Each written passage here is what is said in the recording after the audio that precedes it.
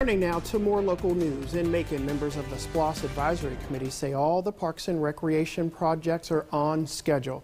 Instead of building just three fire stations as planned, they will build four.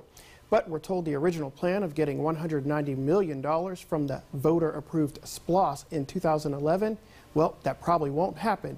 The county will probably come up $10 million short.